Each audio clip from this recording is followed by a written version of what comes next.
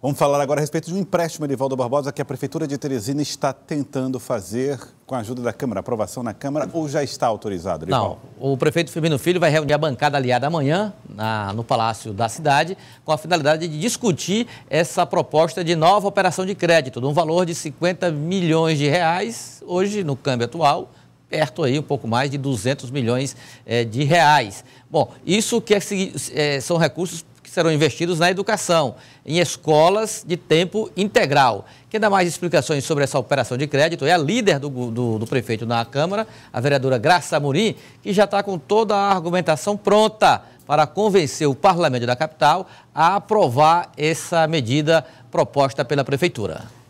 Você conversou com ela também? Também. Então vamos ver com o Evaldo Barbosa.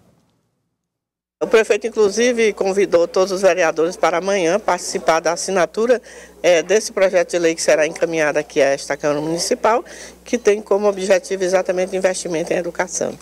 Então, mais do que nunca, a gente vê a dedicação do prefeito Firmino Filho voltado para essa área educacional. É um empréstimo de 50 milhões de dólares, eu acho que gera mais ou menos 200 milhões de reais, e é para a construção de escolas de tempo integral. Quer dizer, vai fazer uma concentração do alunado. Tudo isso também vai reduzir custos e tudo. E, e quando se diz, quando se é, instala uma escola de tempo integral, acredito que dessa, nessa monta aí, mais ou menos em torno de 10, é, significa oportunizar também no mercado de trabalho vaga de emprego, inclusive para os pais que podem deixar seus filhos o dia todo na escola.